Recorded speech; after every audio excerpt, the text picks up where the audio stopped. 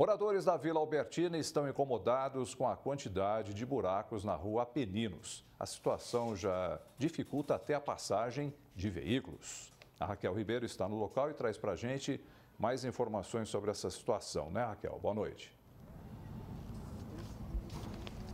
Olá, Zanuelo. Boa noite para você, para todos que acompanham o Jornal da Clube. Exatamente, o asfalto está se deteriorando e uma água vazando constantemente. Os moradores disseram que o problema já dura há muito tempo, mas até o momento nada foi resolvido. E como você disse, os veículos passam por aqui. É um cruzamento aqui entre a Rua Peninos com a Rua Rio Formoso.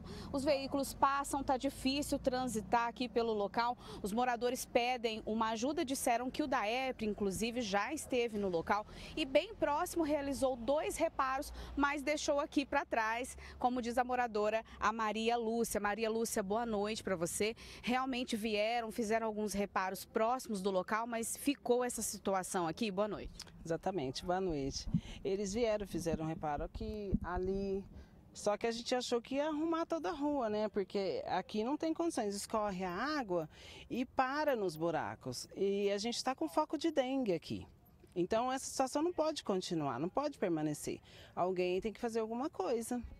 É, você disse que já teve acidentes aqui pelo local, que inclusive já pediram a colaboração do poder público para que fizesse algo. Sim, mas até agora nada. E a gente está tá esperando.